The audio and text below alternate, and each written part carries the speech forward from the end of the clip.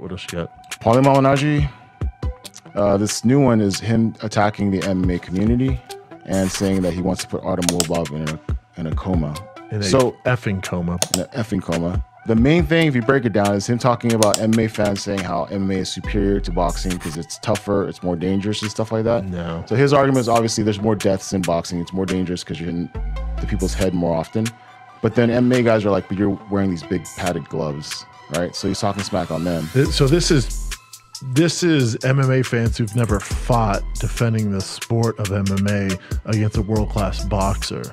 Um, but it's not like Paulie knows a ton about MMA, but he does have his fucking doctorate in boxing. So he put when you when your piece of shit community, uh, and I, the MMA community, it's not a piece of shit. It's just toxic. It's just very dark.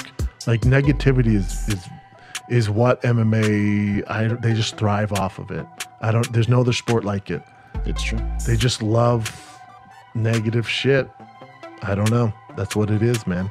Uh, so you put when your piece of shit comedian, your piece of shit people talk about we fight with pads and how your sport you're in a dangerous sport like MMA when nothing of the sort happens to which you is why you have a circus of fan base because it's like wrestling. At the end of the day, no matter what happens to you guys, uh, tapping assures you you're going to see the next the that guy next week. Tapping assures you you're going to see that guy in a few months. In boxing, you don't have those assurances. So there's a respect level even to to the trash talk that we have. Uh, it's being surpassed now. It's being overcome with this garbage that we have from this other community, MMA.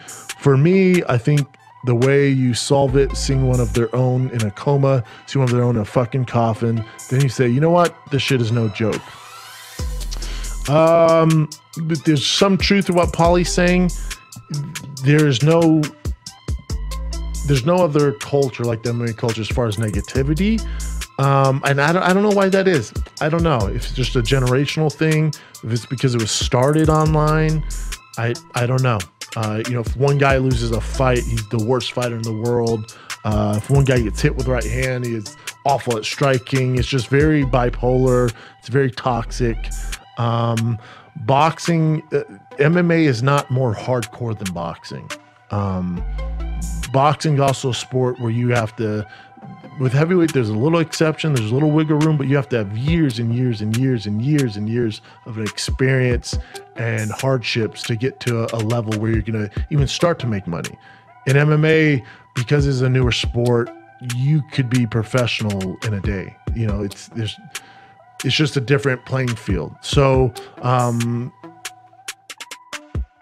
put on for anyone who's never fought put on an eight ounce boxing glove and tell me how much padding you have. It's it's there's nothing there. It's just to protect the fighters from basically breaking their fucking hands. There's not much there.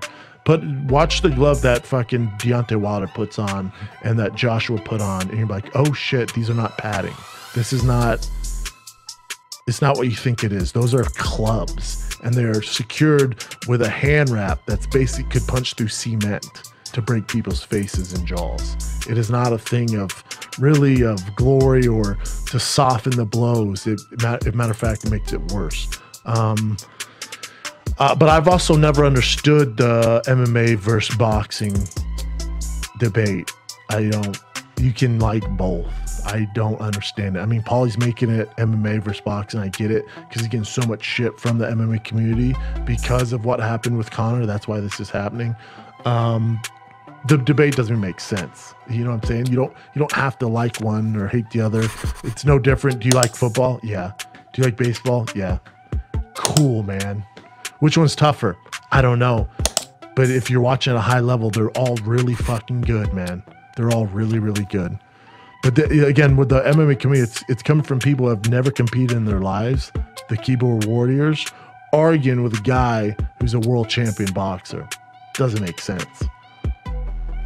He made a, a point that I thought was a good point too. So if in MMA there's ways out, and in boxing the only way out is to either get knocked out or you have to literally quit, and you can't live that down if you don't get, get off your stool. Yeah, so in boxing, so you're gonna take a much bigger hit in your career if you look for an easy way out. So let's say you get hit with a body shot and you stay down. If the crowd can tell you just kind of bitched your way out of it and stayed down, your career's pretty fucked. In MMA, If I want to weigh out, and we've seen it happen with multiple guys and very famous fighters, they get caught in a rear naked choke, they just don't feel like being in, they tap.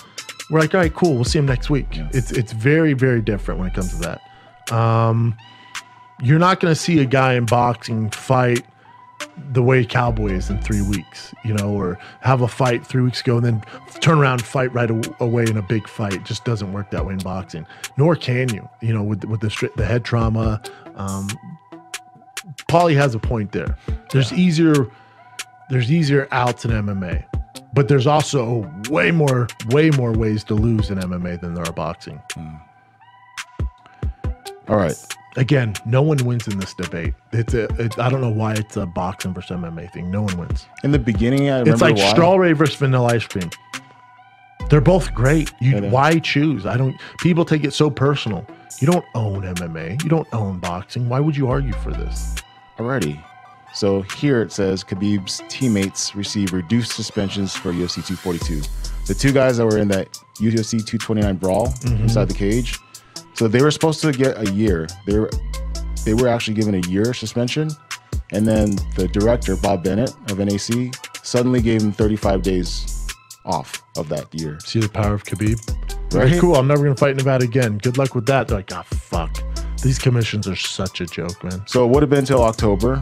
So now it's they're literally able to fight on the same card that Khabib is supposed to fight on September 6th, Isn't it great? five days before, 40s before. It just it, the commission's just such a joke. They're not gonna do shit. What else you got? Here, Marc Raimondi was saying that UFC, UFC's parent company, which is WME, they're filing papers to go public. Hmm.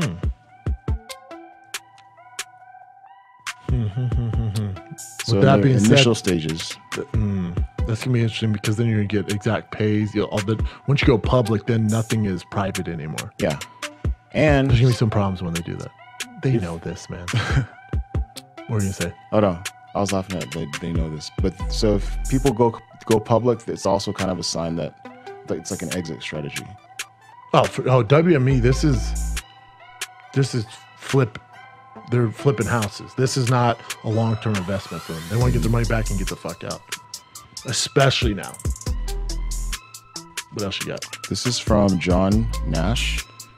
He writes for Bloody Elbow. Some 2018 DAZN business numbers. Only 1% penetration in the American market. ESPN is five times better. ESPN Plus. Uh, ESPN Plus. Yeah, well, that's okay. That's a weird comparison. Uh, 14.3 million North American revenue.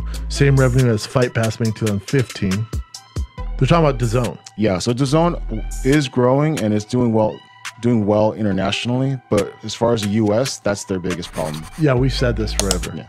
But if you go over, this is kind of silly because if you go take the UFC and compare it to one championship or DAZN in England, in China, in Japan, the numbers are going to be way more lopsided.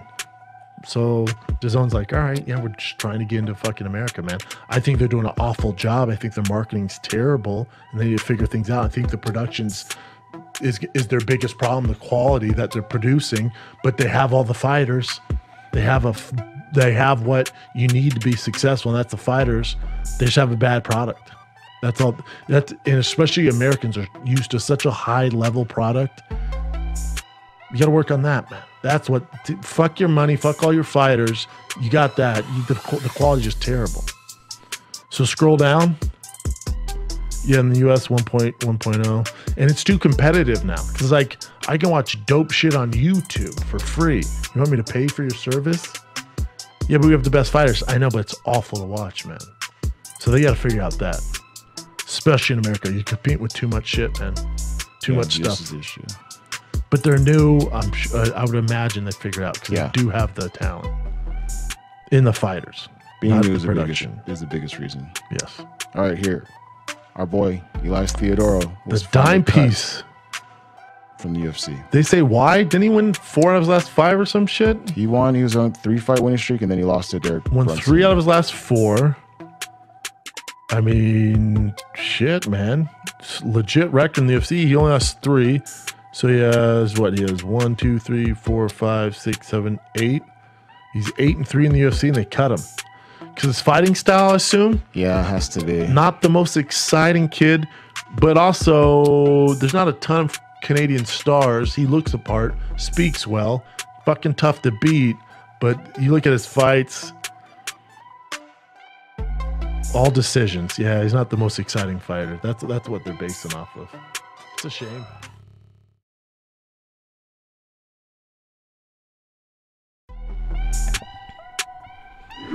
If you have not already, hit that subscribe button with its notification bell and leave a comment in the comment box below of what you thought of the video and tune in for more on MMA News Outlet.